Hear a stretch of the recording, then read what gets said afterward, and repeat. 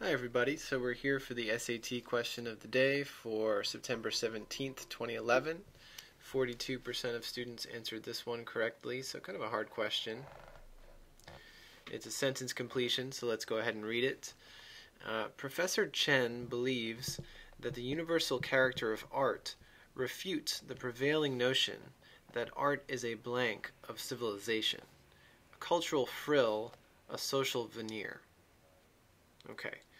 So, Professor Chen believes that the universal character of art refutes the prevailing notion that art is a blank of civilization, a cultural frill, a social veneer. Okay, so this phrase here, um, a cultural frill, a social veneer, right, um, seems to be suggesting uh, that it's referring to this previous clause. All right, so I'm going to underline this and just draw an arrow over there. So we're looking for a word that's sort of similar to frill or veneer, right?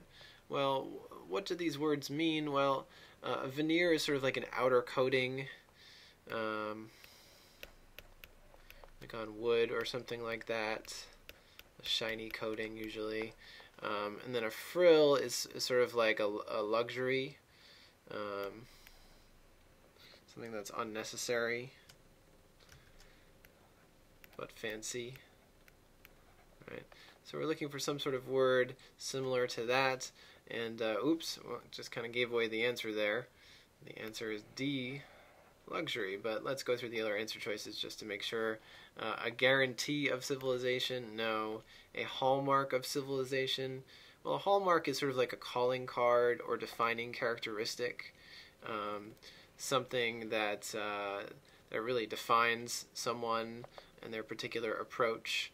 Um, so you could say, um, you know, that an artist has a particular calling card, something that he or she always puts in in his or her paintings, or um, uh, a band might have a calling card or a particular sound that defines them. Uh, that would be a hallmark. Um, a record of civilization? No a depiction of civilization. Well, a depiction is a portrayal of civilization. So no. So uh, we can feel confident that our answer is in fact D.